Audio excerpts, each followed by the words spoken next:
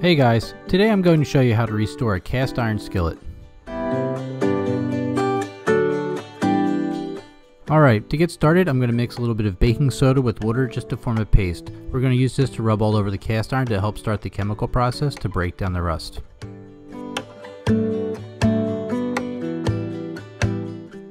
A little backstory on the pan. It's about 50 years old that my mom gave me a few years ago. Been sitting in the cabinet for a while and I finally found it I decided now is probably the best time to bring it back to life. Make sure you watch until the end of the video where I'll show you how non-stick a cast iron can be when it's been properly seasoned.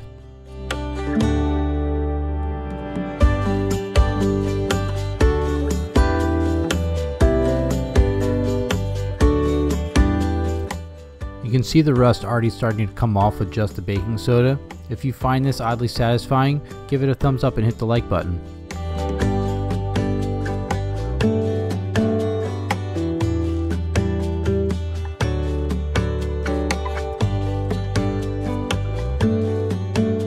So I let it sit for a few minutes, then I added some vinegar. Vinegar is actually the enemy of cast iron when you're cooking with it because it'll eat through the seasoning, but that's what we want to have happen here is eat through all the seasoning and get down to the bare metal.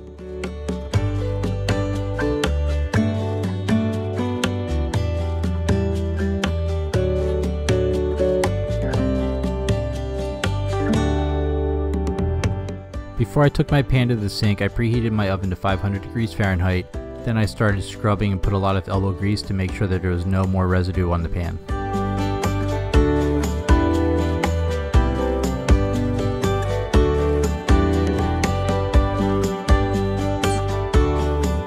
I want to make sure that the cast iron is dry with a clean paper towel. Here I'm wiping it down with a thin layer of canola oil. I make sure I wipe off any excess oil that's on the pan then place it into a 500 degree oven upside down with a piece of aluminum foil underneath just in case it drips.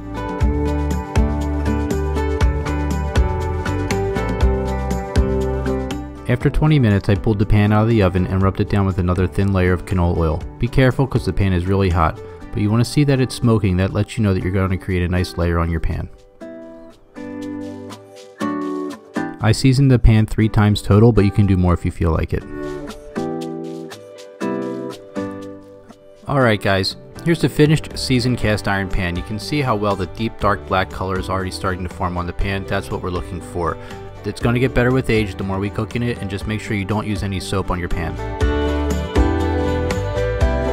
Thanks for stopping by, and don't forget to hit the thumbs up button if you like the way my cast iron turned out, and hit the subscribe button and notification bell. And so you can see how the seasoning is on the pan. I cooked an egg over easy without sticking to the pan. Until next time, bye!